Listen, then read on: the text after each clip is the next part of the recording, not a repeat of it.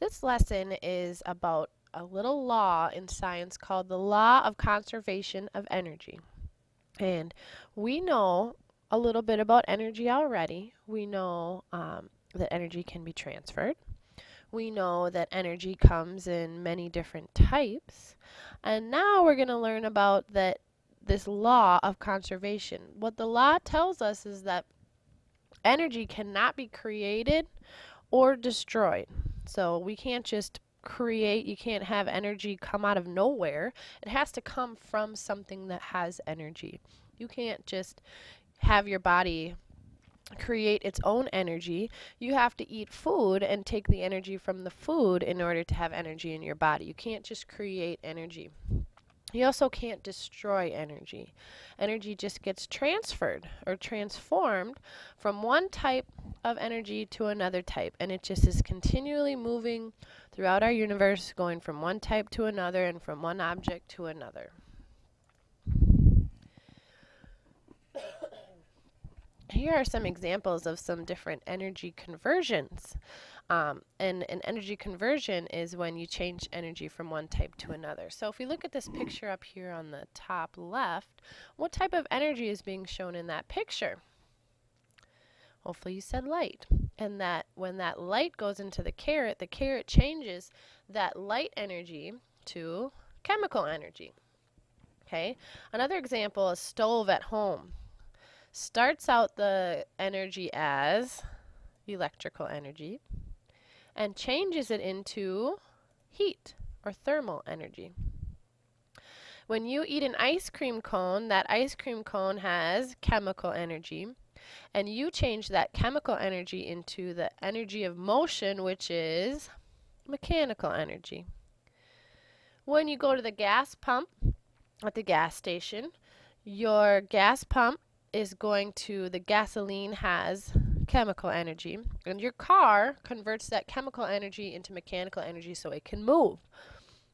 So again, anytime that you have energy changing from one type to another, we call that an energy conversion. And uh, this is only done using a converter device.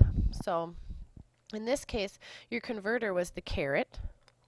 Here, your converter device, the device that changed it from electrical to thermal, was the stove. In this case, the object that changed it from chemical to mechanical was your body. And here, the car is our converter device. It changes it from chemical to mechanical. Okay?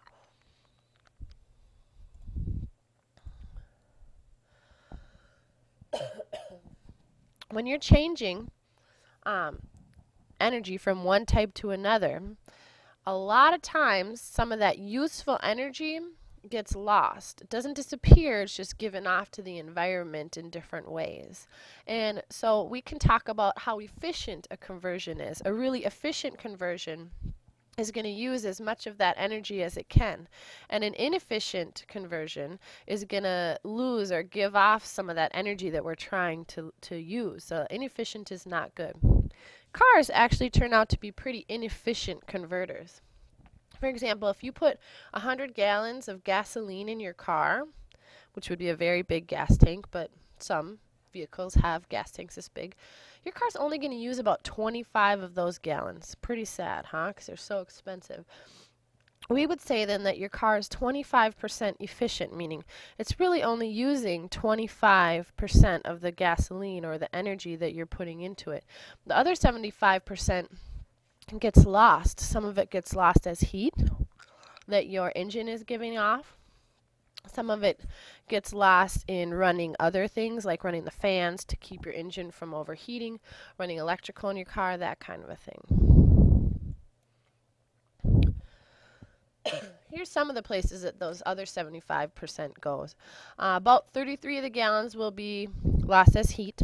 So, you know, when you run your car, your engine gets really warm. Well, that heat that's be being given off is energy. That's thermal energy that's not being used. Um, 29 gallons is going to be used to cool the engine so it doesn't overheat. 6 gallons gets pumped, um, is used to pump air through your engine, and 7 gets lost to friction. So, really only 25 gallons of that 100 gallons is being used to move your car. So when we're trying to figure out efficiency, there's a couple of ideas.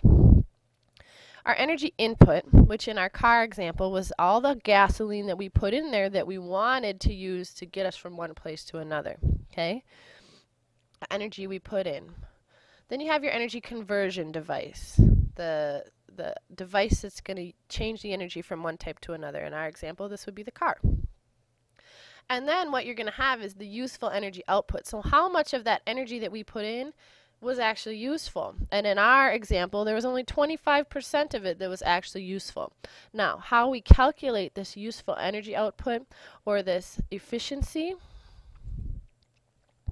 is using this equation here. So how much of the energy did we actually use compared to how much did we try to use? So we wanted to use 100 gallons only 25 of those gallons were actually used to move the car, which means it was 25% efficient.